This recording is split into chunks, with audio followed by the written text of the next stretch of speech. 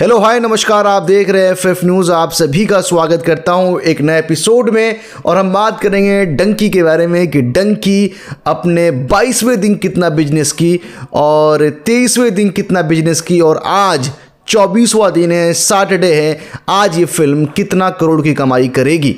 लेकिन उससे पहले मैं आपको बता दूँ कि 23 दिनों में इस फ़िल्म ने बहुत अच्छा बिज़नेस कर लिया है। 226 करोड़ इंडिया से ये फ़िल्म कमा चुकी है।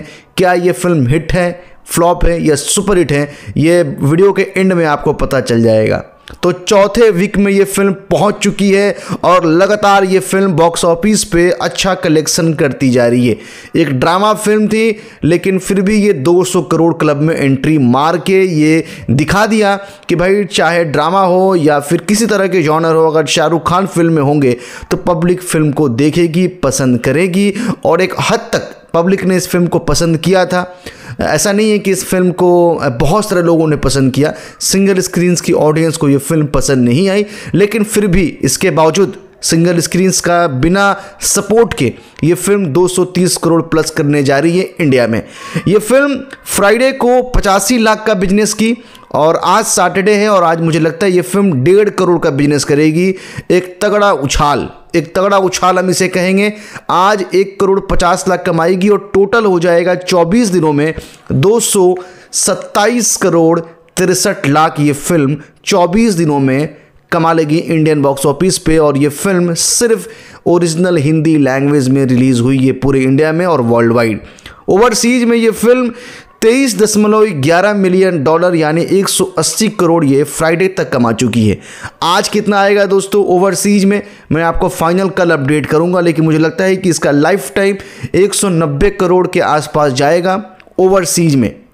वर्ल्ड वाइड ये फ़िल्म फ्राइडे तक चार सौ छप्पन करोड़ 70 लाख कमा ली है। चार सौ छप्पन करोड़ 70 लाख। और एक बहुत बड़ा सवाल है कि इसी साल स्पाई यूनिवर्स की एक फ़िल्म टाइगर थ्री जिसका लाइफ टाइम चार करोड़, क्या ये तोड़ पाएगी? चार करोड़ टाइगर थ्री ने किया वर्ल्ड वाइड चार करोड़ में हिंदी, तमिल, तेलुगु ऐड है, लेकिन यहाँ पे चार सौ छप्पन करोड़ सत्तर लाख जो डंकी किए, उसमें सिर्फ़ हिंदी लैंग्वेज सिर्फ़ हिंदी लैंग्वेज का है। तो दोस्तों, आपको क्या लगता है इस फ़िल्म का लाइफ टाइम क्या होगा?